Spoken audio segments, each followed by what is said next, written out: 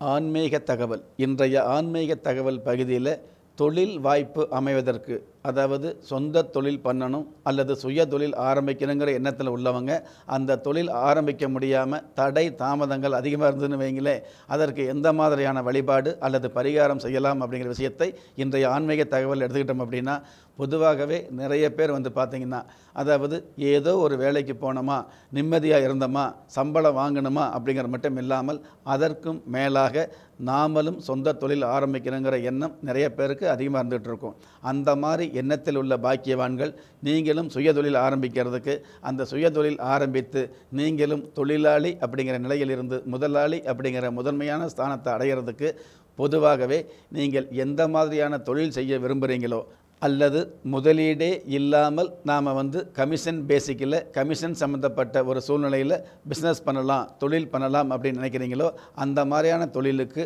பொதுவாகவே